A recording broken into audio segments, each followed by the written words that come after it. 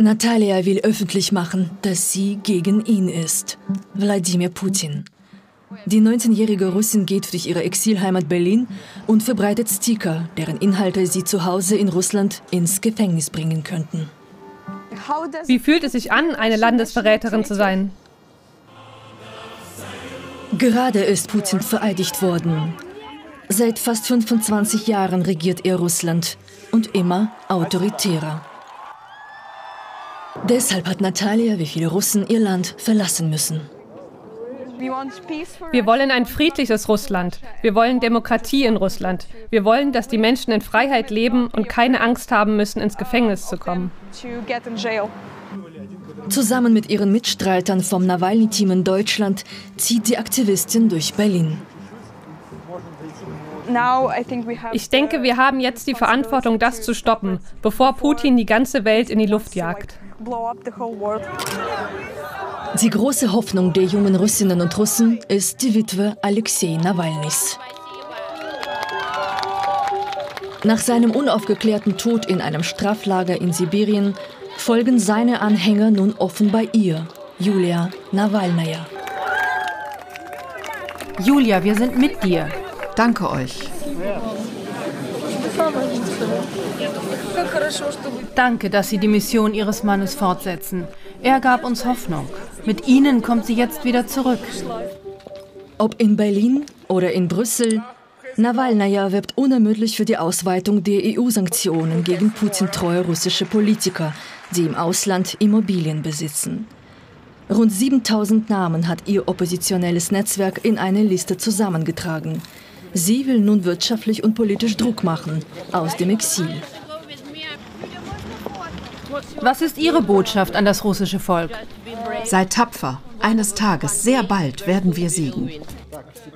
Daran arbeiten auch Natalia und Nawalnys Team Deutschland. Aufklärungskampagne aus dem Exil. Guten Abend, ich heiße Natalia. Ich bin von einem russischen Umfragedienst. Hätten Sie eventuell Zeit für mich? Nur wenn es schnell geht, sprechen Sie. Danke sehr.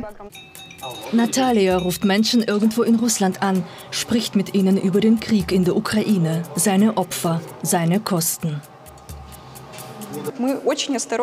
Wir argumentieren sehr vorsichtig gegen die russische Regierung.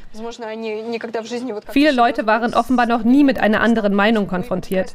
Wir wollen sie zum Nachdenken bringen. Das ist mühsam, weiß auch Dima. Viele haben Angst. Wer in Russland die Armee und ihr Vorgehen in der Ukraine kritisiert, riskiert für mehrere Jahre ins Gefängnis zu kommen. Hallo?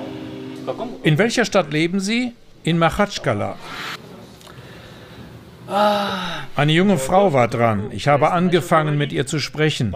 Ihr Mann kam und sagte, das interessiert uns nicht. Aber sie meinte davor, dass ihr vor allem die medizinische Versorgung und die Spezialoperation Sorgen machen. Das Team versucht Ansatzpunkte zu finden, obwohl Opposition aus dem Exil unglaublich schwierig ist. Ihr Vorbild ist Alexei Nawalny, Putins bekanntester Rivale, als er noch in Freiheit und am Leben war. Man darf nicht aufgeben. Für den Triumph des Bösen braucht es nichts weiter, als dass die guten Menschen untätig bleiben. Bleibt deswegen nicht untätig.